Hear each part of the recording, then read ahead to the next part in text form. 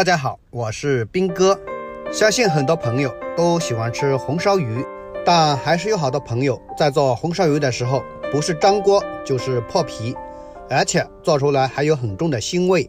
如果您按照我的方法去做，做出来保证不粘锅不破皮，色泽红亮无腥味，鱼肉鲜嫩入味，特别的好吃。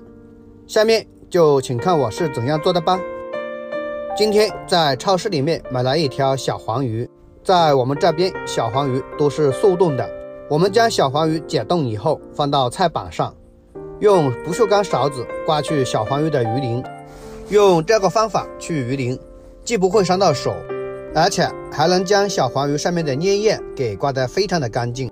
小黄鱼上面的粘液一定要刮干净，不然做出来会有很重的腥味。这也是小黄鱼好吃不腥的关键。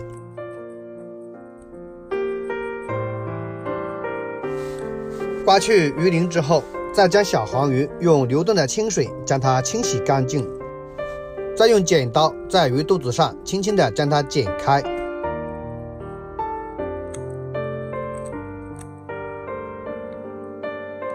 剪开以后，再将鱼肚子里面的内脏给去掉，不要。去掉内脏以后，继续用不锈钢勺子把鱼肚子里面的脏东西和白色的膜给刮干净，里面的天骨血也要给它刮干净。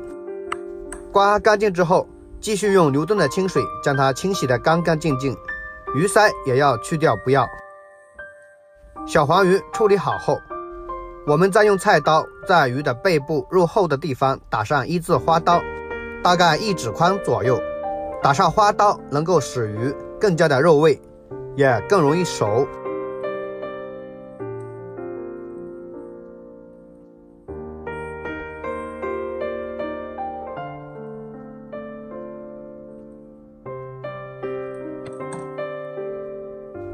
打好花刀以后，再将鱼放入一个大碗里面，然后我们再准备一块去皮的生姜。将生姜先切成薄片，再改刀切成姜丝，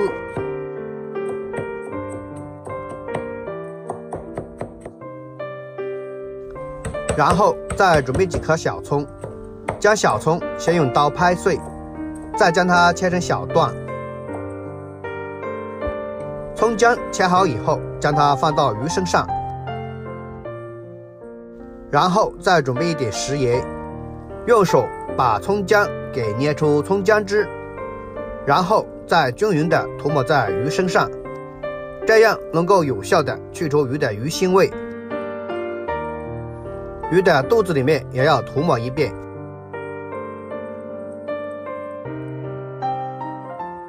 然后把葱姜全部塞到鱼肚子里面，让它先腌制十五分钟左右。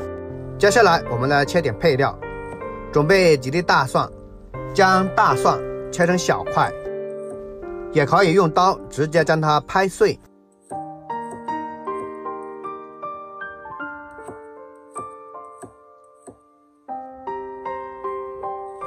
大蒜切好以后，将它装入小碗里面，再准备一块去皮的生姜，将生姜切成厚片。再将它切成长条，同样也切成小块。姜块切好以后，和大蒜装一起备用。接下来准备几个新鲜的小米辣，将小米辣切成圈，不喜欢吃辣的就不要放。小米辣切好以后，和姜蒜装一起备用。再准备一把小葱。只取葱白，将葱白也切成小段。切好以后，和姜蒜、小米辣装一起，再放入一点干辣椒节。我们将葱叶切成葱花，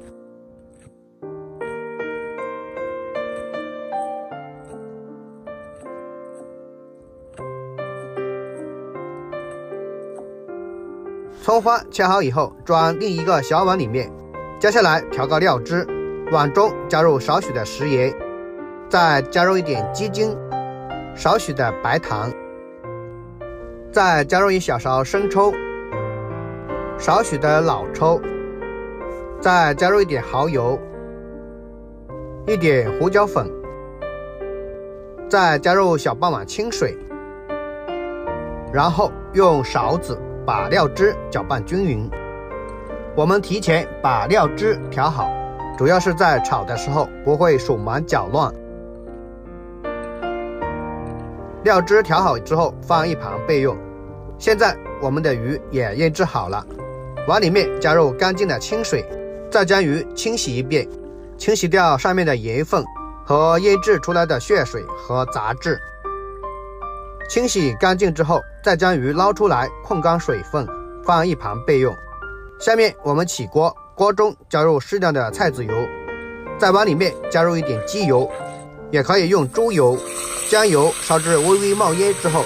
再把鱼轻轻地放进来，鱼放入之后不要着急翻动，让它慢慢的煎至定型，这样才不会破皮。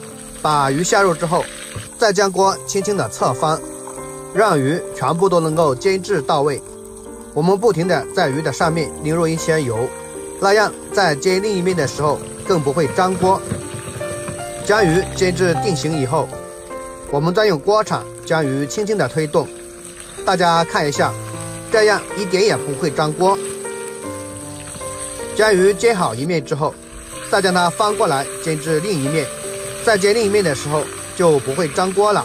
在煎鱼的时候不要开大火，开中小火慢慢的煎，那样才不会烧焦。在一边煎的时候，一边轻轻的用锅铲翻动，这样鱼才不会烧焦变黑。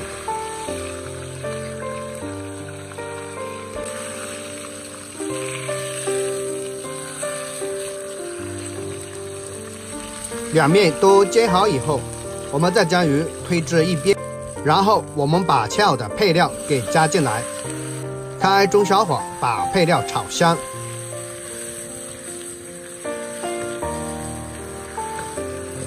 炒香以后，再把配料铺在鱼的身上，然后把刚才调好的料汁也加进来，再加入一碗清水，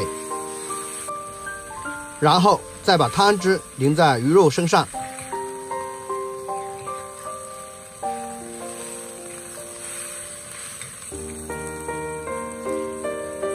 然后再扣上盖子，开小火慢炖十分钟左右。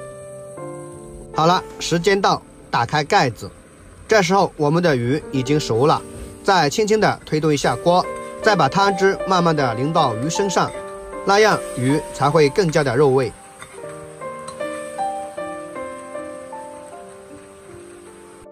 最后，我们再往里面加入一点白醋，再慢慢的煮三十秒钟左右就差不多了。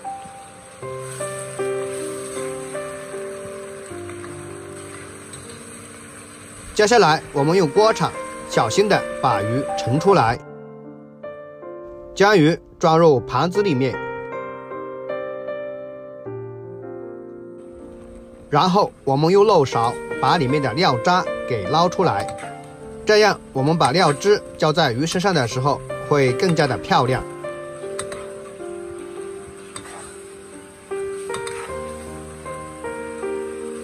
捞出料渣以后，再往里面勾入少许的薄芡，开大火把汤汁收至浓稠就可以了。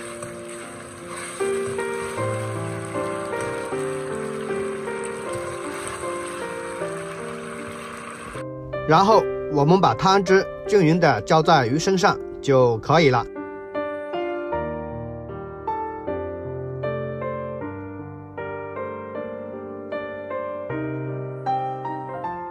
最后再撒上一点小葱花就可以了。一道色泽红亮、鲜香美味的红烧鱼就做好了。喜欢的朋友就收藏起来，自己在家试试做吧。好了。视频就分享到这了，我们下期再见。